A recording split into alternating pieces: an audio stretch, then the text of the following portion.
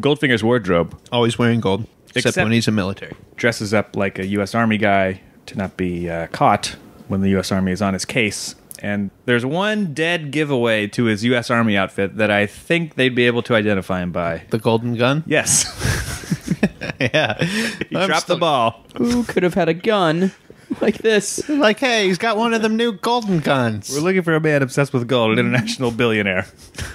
hey, fat general with that gold gun. That's weird. Anyway, have you seen? Hey, that's much better than Private Larry's diamond-studded gun.